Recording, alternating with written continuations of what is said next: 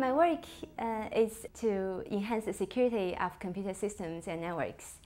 Uh, so in this sense, it uh, touches, uh, it can touch every computer user's uh, life potentially.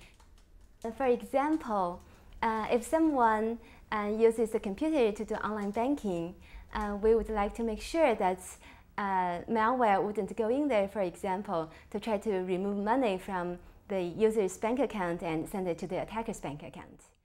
And another uh, direction that we are going into is to help enhance the security for medical uh, devices and systems. Uh, many of these medical devices and systems are becoming networked uh, and they potentially have security vulnerabilities and safety issues.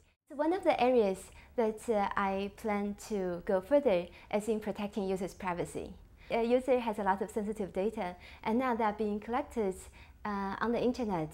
Uh, for example, when user uh, uses online uh, social networks and also uh, cloud-based services and so on. And so there's a big question how we can protect users' privacy and also at the same time to provide user with the services that they would like to have. The MacArthur Fellowship means a lot to me um, in particular in terms of the uh, supports that it would provide to my work. Um, to me, uh, life is about uh, creating something truly beautiful. And uh, in order to do that, often it involves taking a path that's less traveled by.